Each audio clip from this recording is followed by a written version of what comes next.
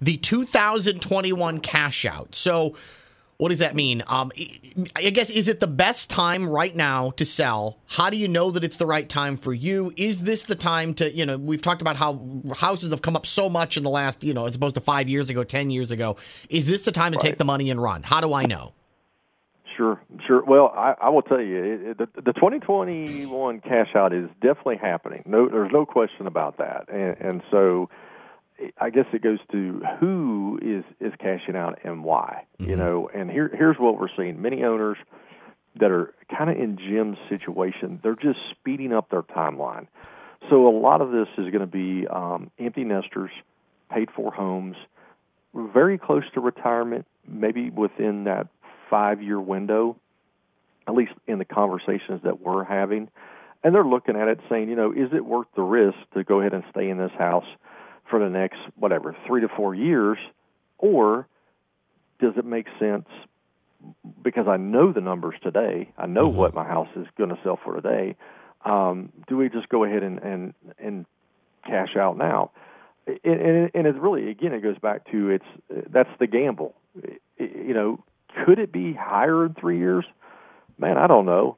Maybe uh, mathematically, I don't see how it could. Tough, yeah. Um, it, it's just it, it's unbelievable. But I also look at different parts of the country that are further down the road than we are, and I mean, I, I was talking to some of some different owners, you know, guys that own real estate companies in other parts of the U.S. And I mean, Keith, they're telling me about houses that sold for 120, 140 percent over asking price. Jeez, that's insane. I mean, I... it's unbelievable. Three three hundred thousand dollar homes that were uh, homes that were listed for three hundred, three hundred fifty, selling for seven hundred thousand dollars. But the bank loves that.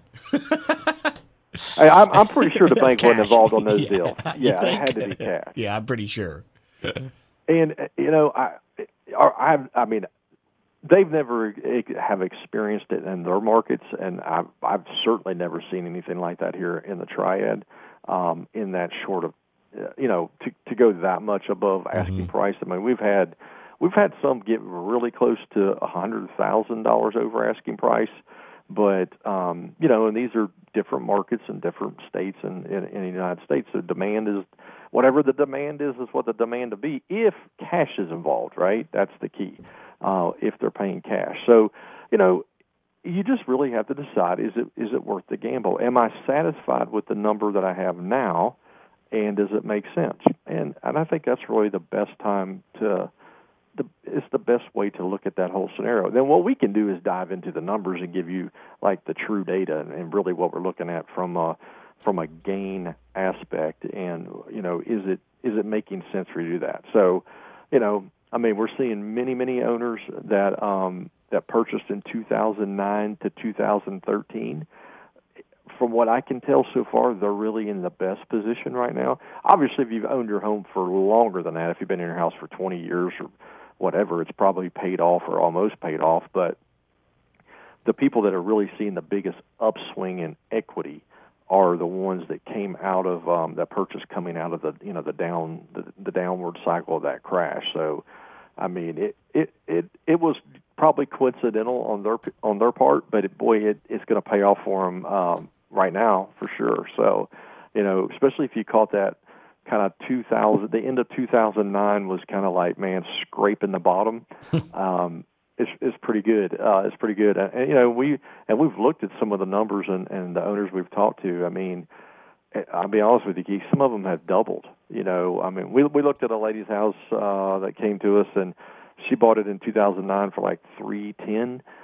We could sell it all day long for 650. Mm, that's wow. You know, yeah. And so and then so when you start looking at double, um, it's hard to look away from double. Yeah. it, it, it, you know, yeah. it's hard to look away, especially you know, and right now with the, the tax laws the way they are, if you're married filing jointly, um, you have no tax liability on the first five hundred thousand dollars of profit, um, which we don't really see that much profit in the triad area um, in, a, in a long time. But so what for let's just say for argument's sake she makes two hundred fifty two hundred seventy five thousand dollars on that property she has no tax liability at all uh, for that for that gain, and, and that's that's it's pretty exciting. Depending on what tax bracket you're in, that could be a tremendous um, a tremendous amount of money. So, you know, I mean, and then we go back and look at the numbers from like you know 2008 to 18. The appreciation in the triad for the whole entire decade was 2.4 percent you know, we've we've got some subdivisions that we're watching that are going up 2.4 percent. I mean, they went up that much in the last two to three two to three months, and and so it's just we're we're starting to win, and we're starting to see some great numbers. And some of it is the lag that we had in the triad because we did have that decade of basically no growth at all, just minimal.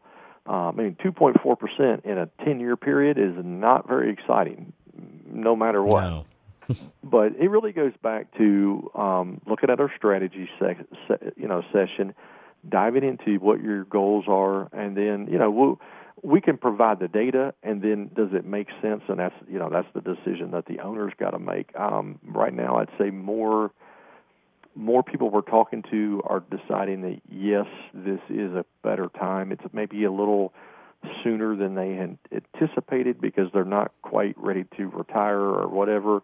Um, but from a mathematical standpoint, when you start looking at, I'm going to make two hundred, three hundred, four hundred thousand dollars tax free. Um, you know, that's that's a pretty pretty yeah. nice incentive and pretty nice incentive. So, I would say this: if if your area is hitting the ceiling, and um, if it is, then I would say it's a strong. Uh, I, I would strongly consider you know selling. And how you can gauge that, even if you don't have the data that we have, just if you just look on online and and if you follow your neighbors' homes, which I know you all do, because you all know more. It's amazing, Keith. I, I meet people all the time. That they, they actually know more about their neighbor's house than their own. I, I would believe Uh, that. Yeah. So I'll ask them something about theirs, and they're like, "Oh, I can't remember. I don't know. Whatever. Really vague."